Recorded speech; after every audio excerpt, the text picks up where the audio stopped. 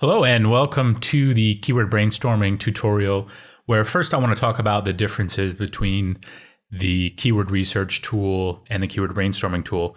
So, the keyword research tool is more for finding similar keywords to your seed keyword. So, if you type in a keyword like men's shoes, you might find uh, keywords like you know men's sandals or sneakers. The keyword brainstorming tool is more for expanding on an existing keyword, and it's important to understand where this data comes from. It comes from the Google Suggest uh, data that you know if you were to type in a keyword in Google, it starts to suggest keywords for you as you're typing, and this is where we're we're pulling that data from.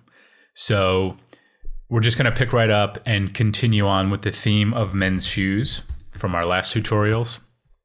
And again, here you can select your search location or your search language. We're just going to leave these on all locations and all languages for now. And we're going to hit start search. Okay, so now that we've got the search results back, you'll see our seed keyword over here to the left with average monthly search volume below it and the cost per click.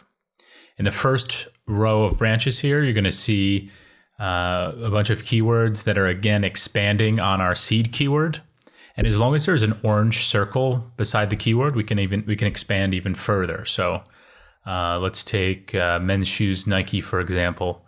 We can dive into that a little bit further.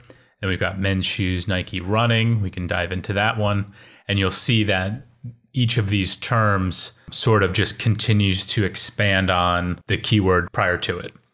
So if you wanted to take one of these keywords and run it through a keyword research tool, you can do that just by clicking on the term and you'll get a little pop up that says, Are you sure you want to research men's shoes Nike UK, uh, which is the keyword we selected? Just hit yes.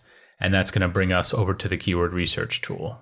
Just hit search and uh, you know you'll you'll return the results just as we did in the previous tutorial.